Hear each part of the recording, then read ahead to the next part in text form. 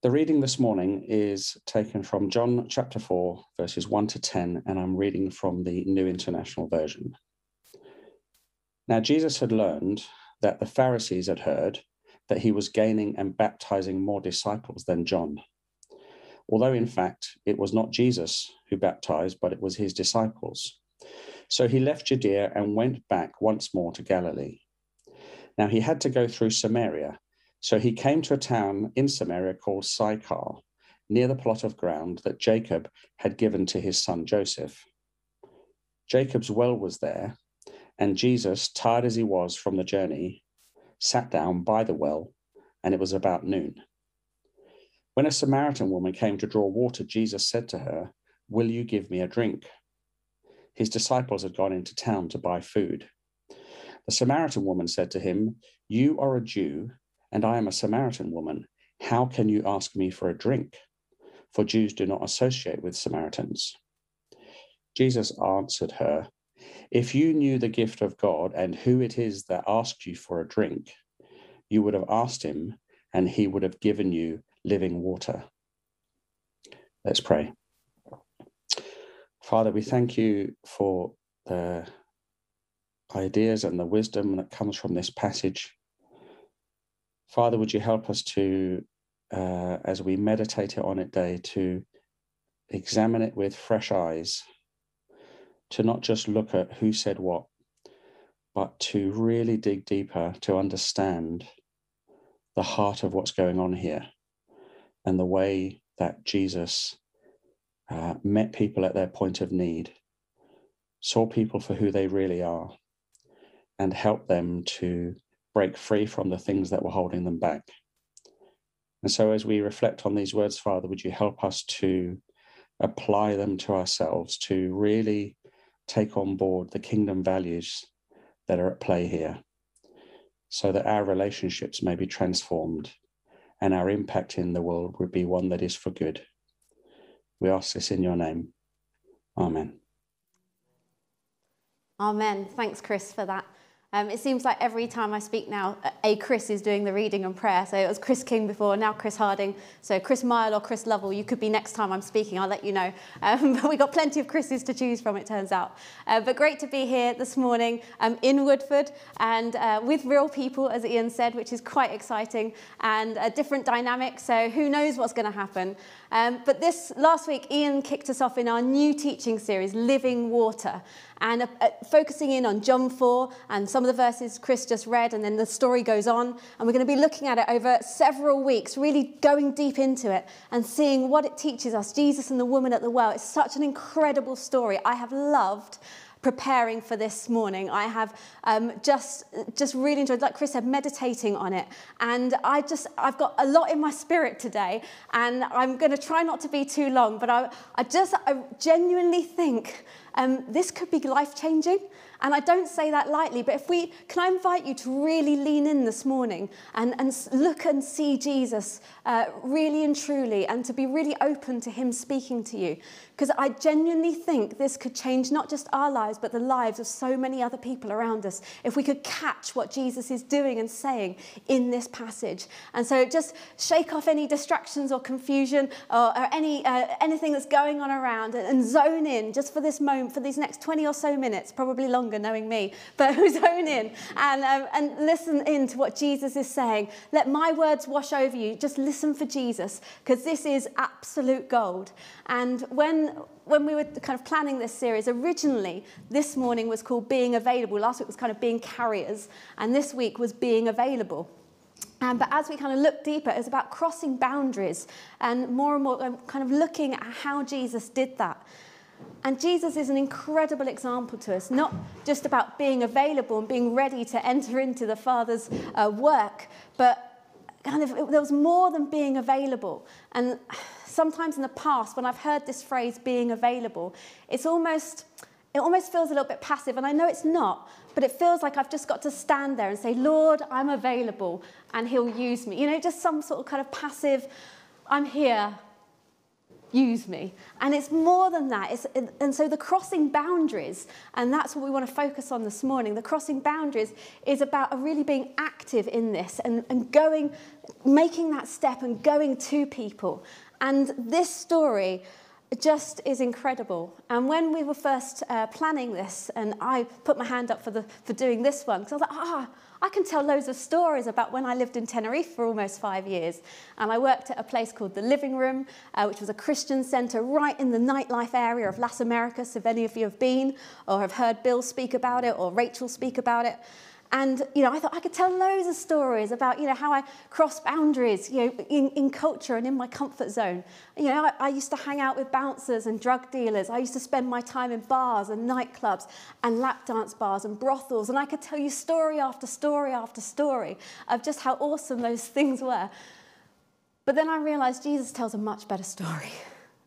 And actually, what's in this passage is way more powerful than, than just some anecdotes I could throw out to you this morning. They are good stories, though, so if you want to have a coffee sometime, um, I can tell you loads of stories about that. But let's do another time. Let's really zone in on the passage this morning.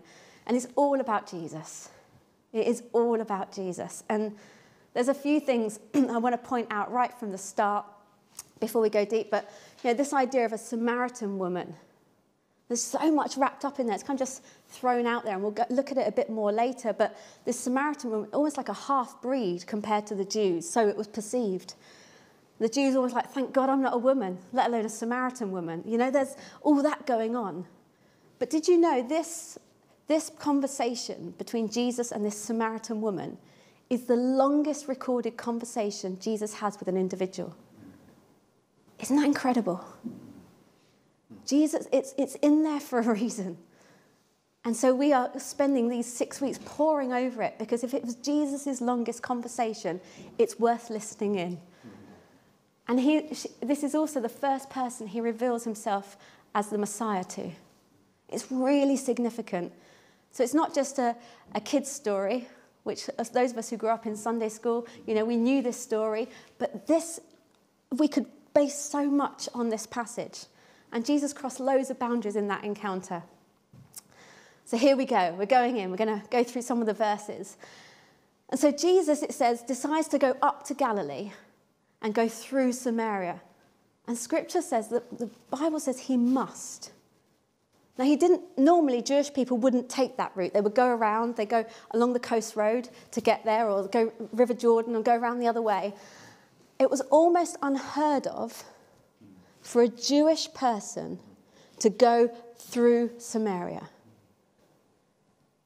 Let's just get just take that moment. It was almost unheard of for a Jewish person to cross into Samaria to get up to Galilee. They didn't need to go through, and so they didn't. But scripture says he had to go.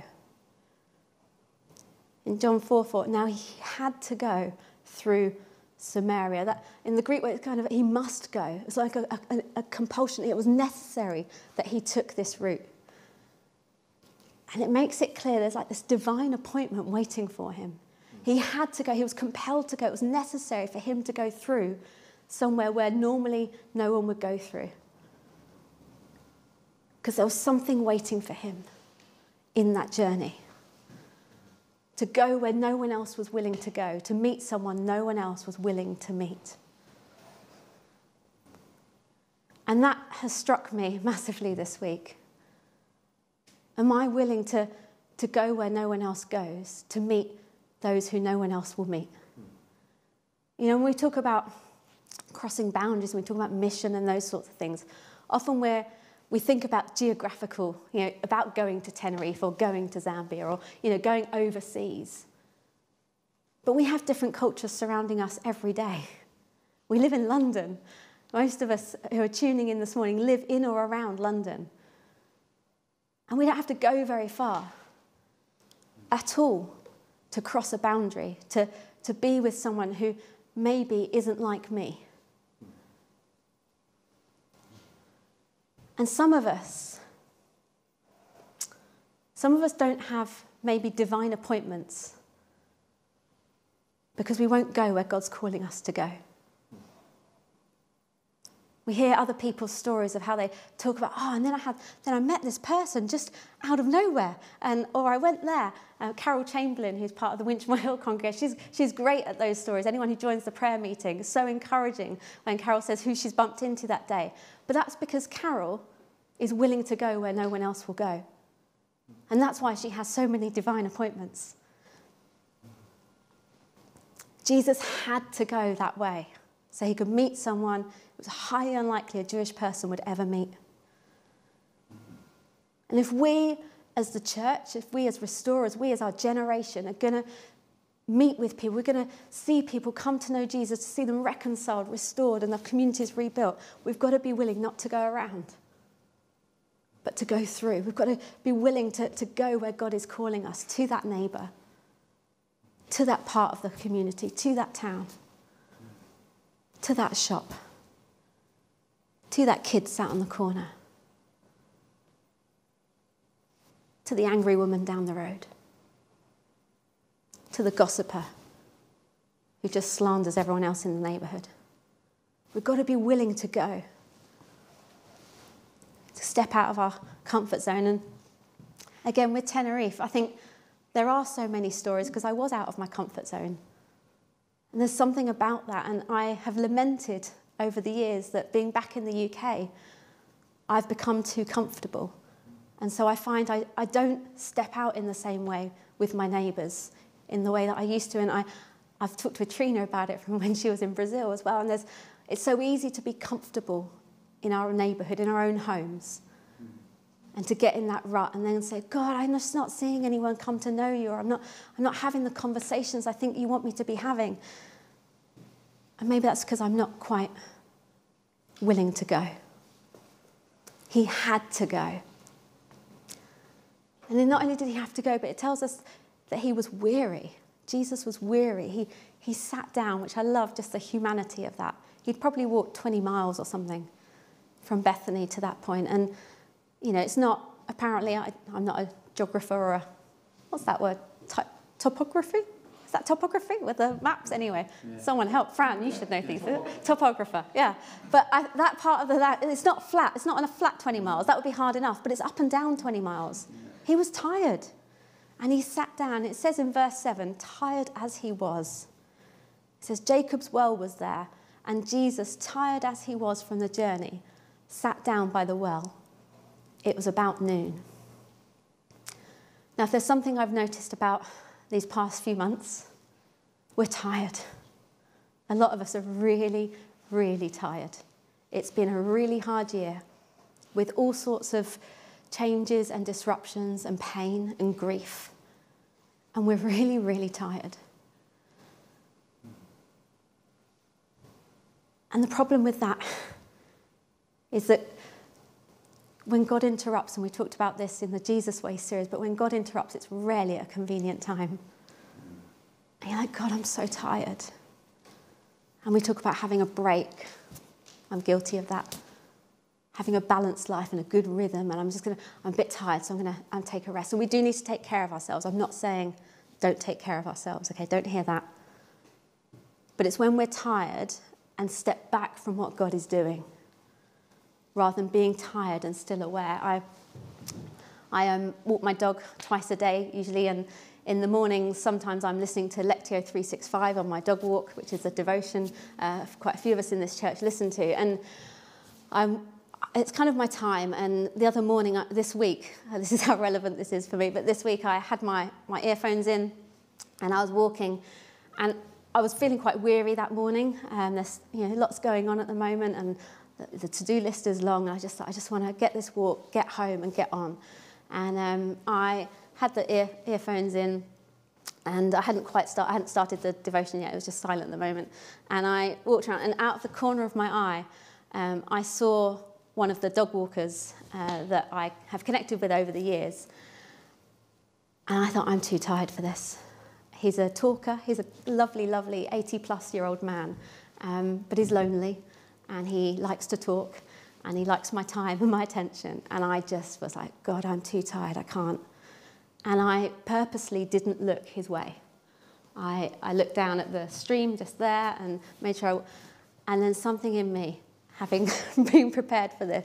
I was like, I know, I know. And so I stopped and I turned around and I went to him, but how often do we do that? We're like, God, not now. I'm too tired. I haven't got it in me. And Jesus was tired. He'd walked, and we make it about our comfort and our ease. We're not willing to be interrupted and so consumed by comfort and this culture that we're, we're in just so tells us that it's all about me and I've got to be, you know, what I need and what I want and how I can be comfortable and at my happiest and all of, you know, and I really struggle with that because it, it just permeates everything, even, you know, in our gatherings. If we're really honest, when we gather together, and it's a bit different in that we haven't gathered for so long, but when we gather together, how often do we make it about what I need and my comfort? Rather than connecting with those around the, in the community. We just want to seek kind of our balance and but Jesus was willing to be interrupted. He had to go, and even when he was tired, he was willing to be interrupted. This is a, a bit of a spoiler alert, and we're not meant to be jumping ahead in the passage. It says quite clearly in the teaching notes, we're not meant to do that. Know your, these are your verses, don't jump ahead, but I am going to jump ahead ever so slightly. So whoever's on this week, um, I don't know which week it is, it might be five or six, I'm really sorry, but it's just a little spoiler. But we did read the whole passage last week. But it's interesting, when we're tired, and yet we still commit to, to going and stepping into those divine appointments there's something about that that gives life. So when Jesus has finished his conversation with the woman later in the passage, he's, he was tired when he got there. And the disciples who have been off for food come back and they say, you know, we're, we're, we're back, got, got some food. And Jesus says, it, it's verses 31 to 34, it says, Meanwhile, his disciples urged him, Rabbi, eat something. But he said to them, I have food to eat that you know nothing about. And then his disciples said to each other, Could someone have brought him food? I love the disciples, they're always so clueless. And Jesus said, My food is to do the will of him who sent me and to finish his work. And that's the, the upside down kingdom of God, isn't it? When we're tired or we're, we're thinking, oh, I just want to step back, I, you know, I just haven't got it in me. But when we actually choose to join in what God's doing, we get nourished. Isn't that just upside down that actually we come away from, you know, come away from that, but, oh, wow, you know, my chat with the old guy the other morning, it's amazing.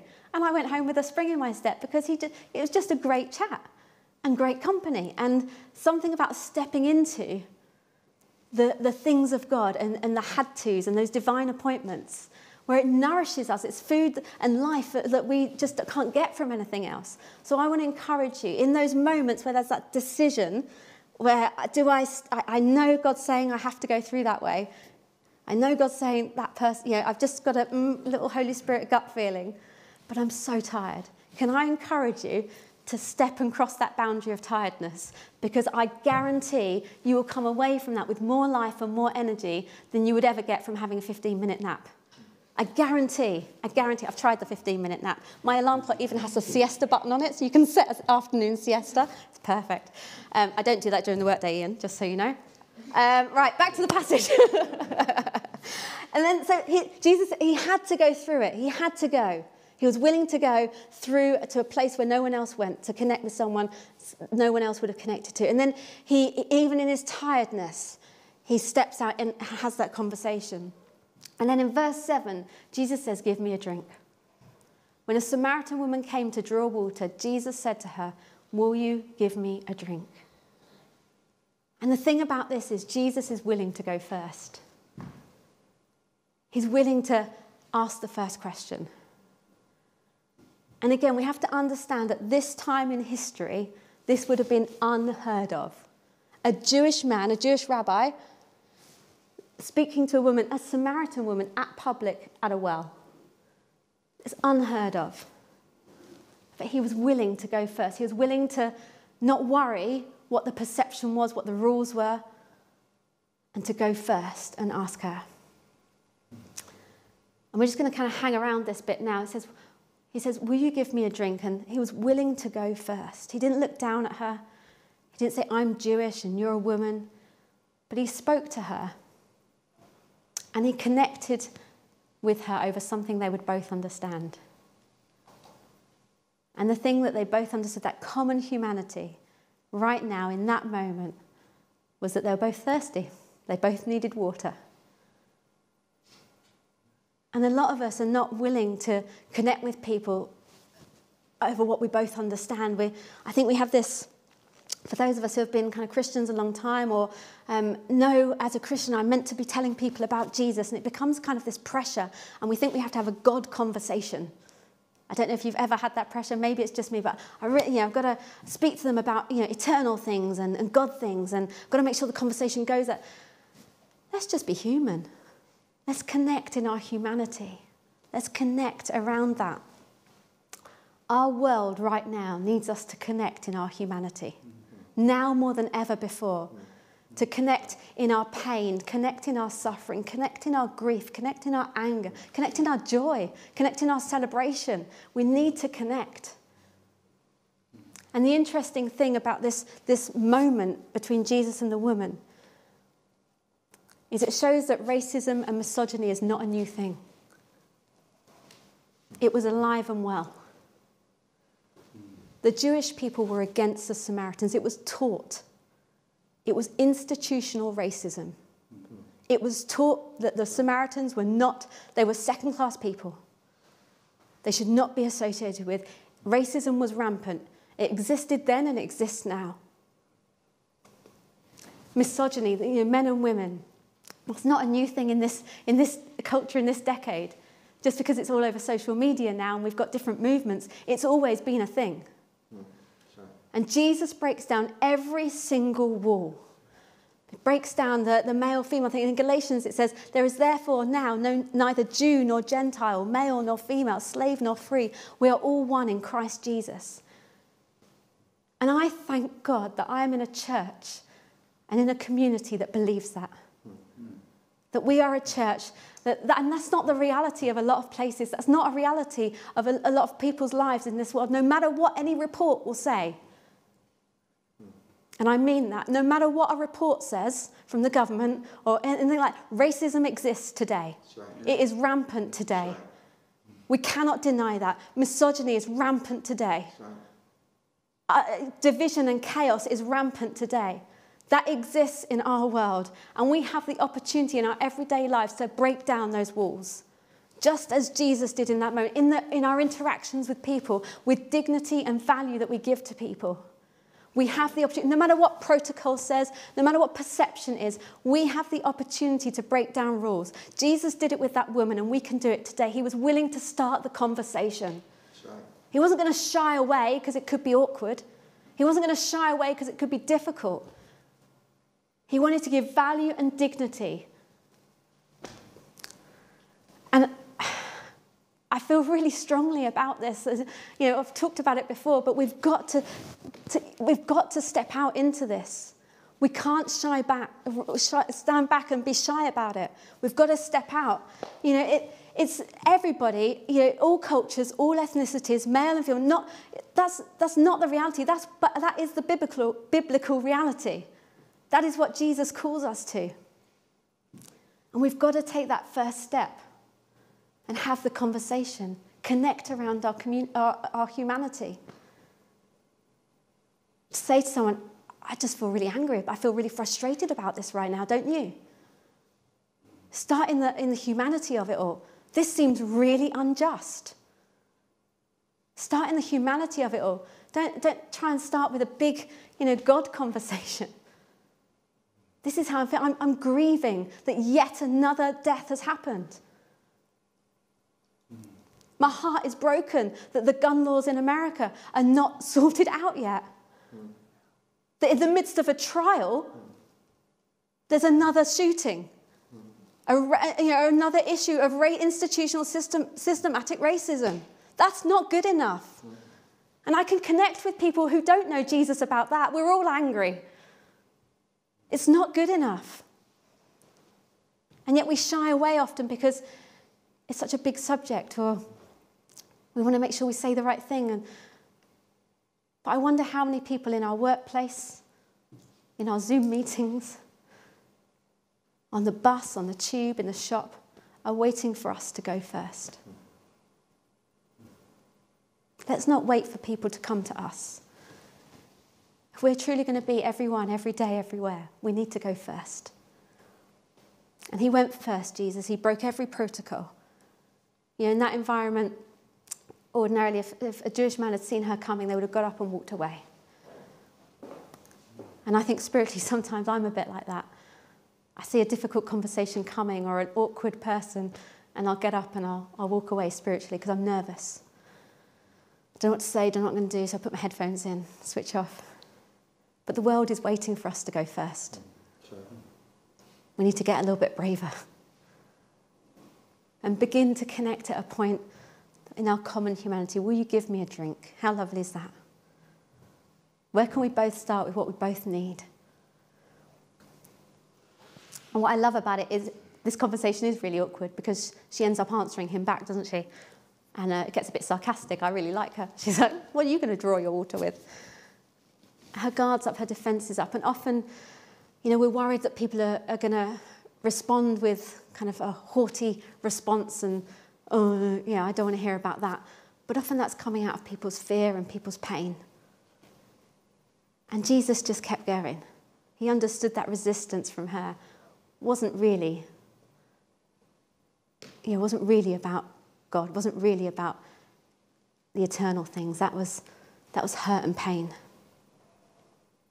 And Jesus, he could have said anything, but he didn't get drawn into the religious conversation about worshipping where and here and there. And, you know, we get so worried about the big religious conversations or that someone's going to get offended or I get offended by something someone else has said. And we make it all a big deal rather than just smiling and keeping going in the conversation and, and keeping it connecting around our humanity, the natural, because Jesus started with the natural to get to the eternal. He didn't rush it. And if we start with the natural to get to the eternal, it just takes the pressure off a little bit. You're just connecting with people about the everyday. People don't know they're looking for the Messiah. She didn't know she was looking for the Messiah. People don't know they're looking for Jesus. There's just a longing inside of them that they're, they're trying to fill with all sorts of other things normally. But we know that only Jesus can satisfy. Let's not go in with that.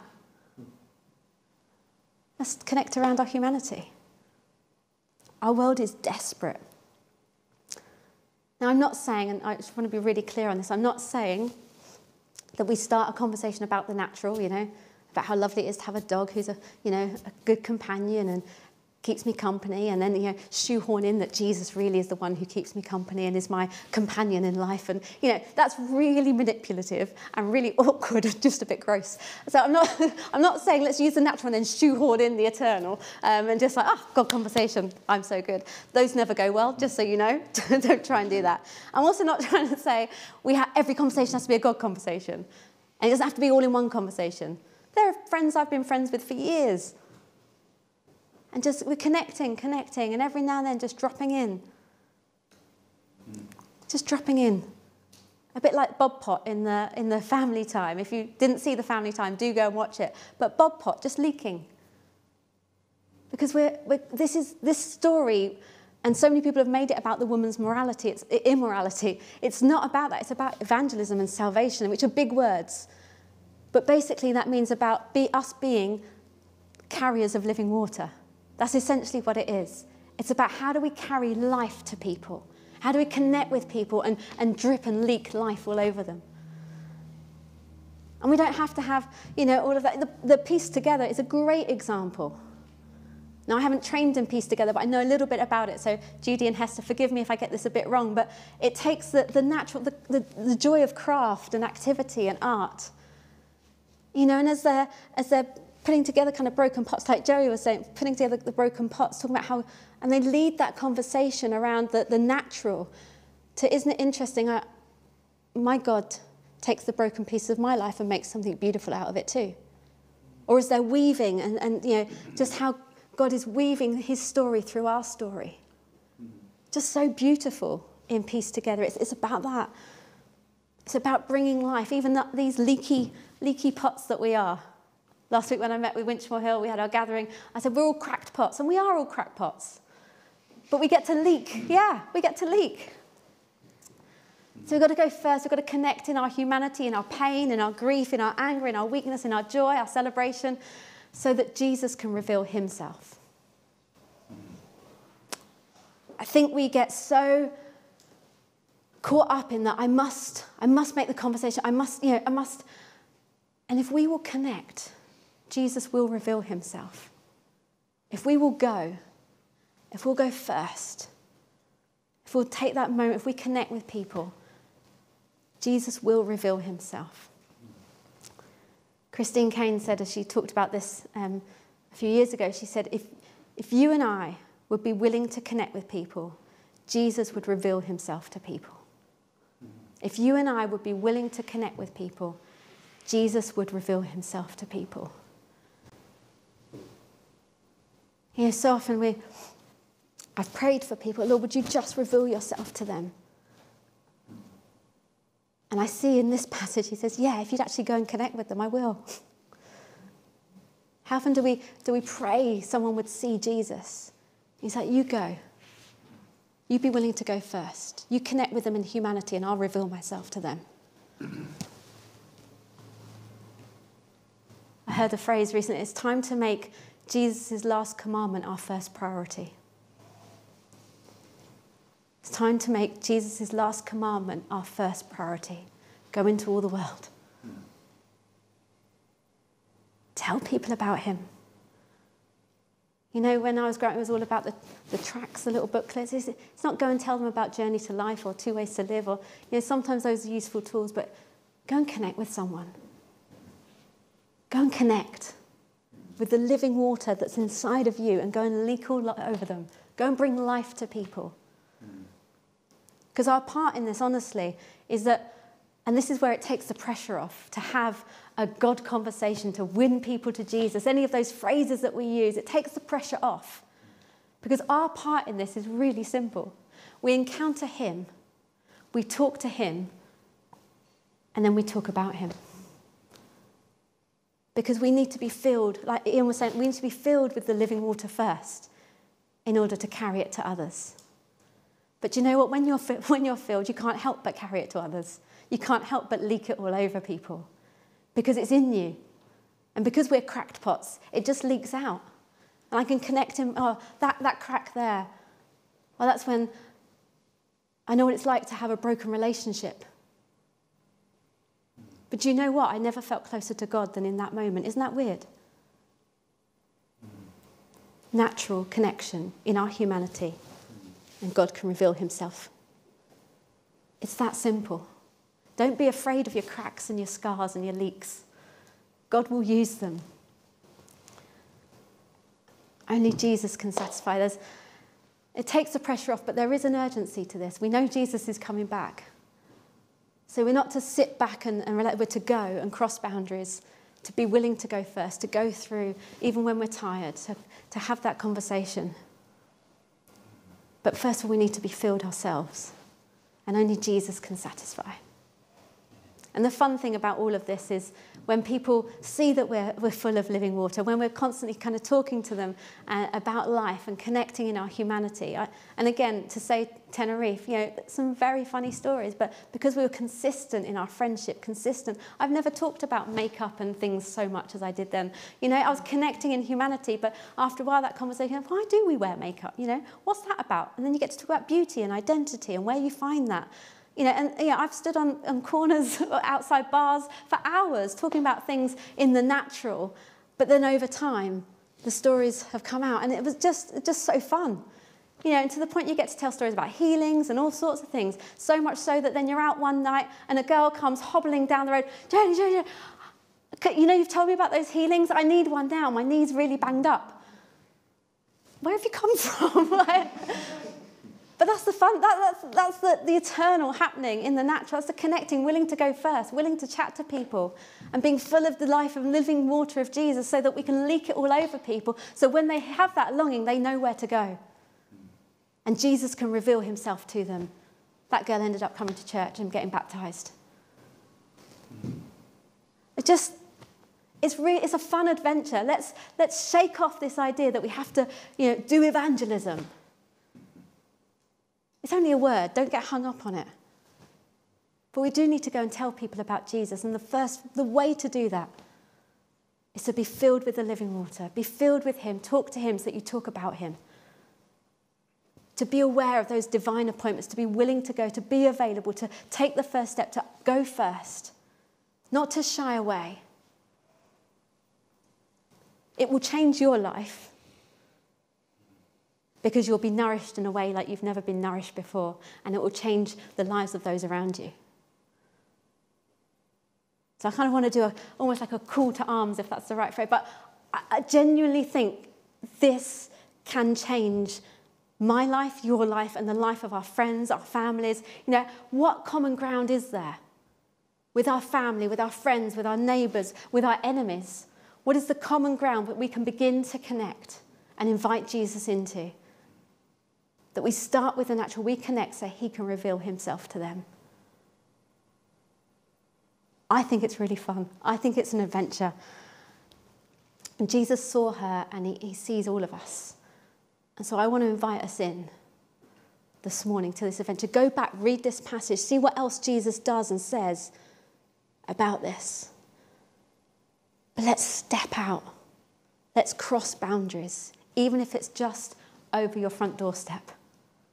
That's a boundary a lot of us, you know, don't want to take. I think of my neighbours right now and how the ways I could connect with them in my humanity, in our humanity, and start to leak living water all over them. It's a great visual, isn't it? I love that, the little Lego that Bob Pot, Bob Pot dropped. Like we're just dropping, leaking living water all over as we walk around. And as we connect, Jesus will reveal himself. We're gonna, I'm going to ask the band to come back up so that we can finish with our final worship song.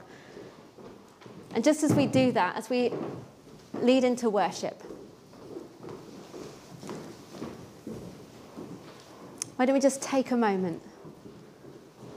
I think some of us might, might just want to say sorry to Jesus, like I had to this week. And that's okay.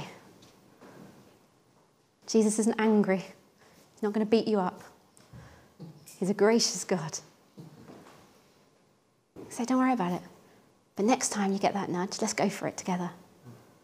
So some of us might just need to say sorry, and you might, it might be a really obvious moment that's happened in the last couple of weeks. Or just something you've just not been aware of, really. Sorry that I haven't stepped out of my comfort, that I've made my comfort priority rather than leaking living water a priority.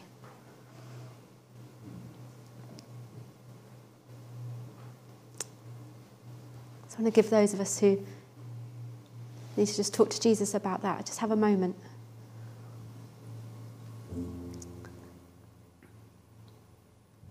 Say, Lord, I'm really sorry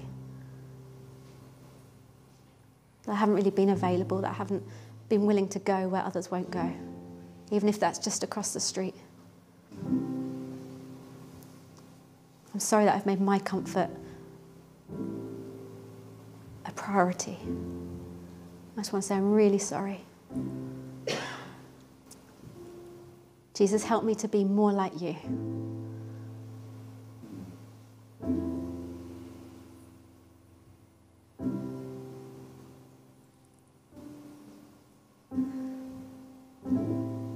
Jesus, would you fill us now with your living water so that we can go and bring it to others, bring life and stories of you.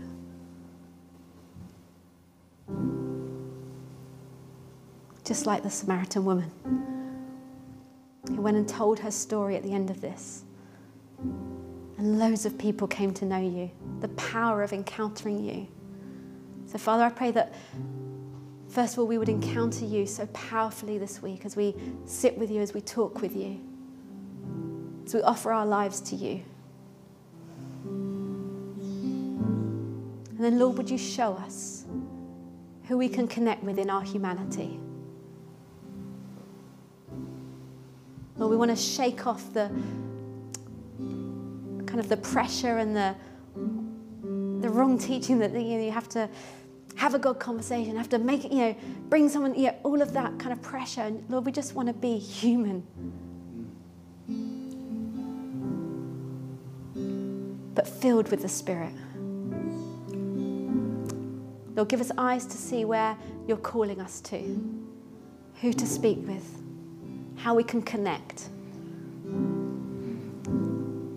And Father, we pray as we connect with those around us, with our friends, with our family, with our colleagues, with our even with those we wouldn't normally get along with. Lord, as we connect, would you reveal yourself to them? By your Spirit, would you speak to the longing deep in their hearts?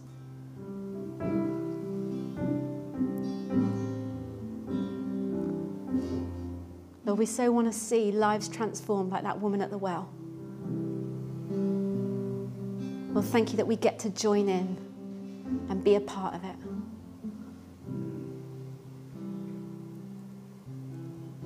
So, Lord, I pray this week, each of us would have a divine appointment.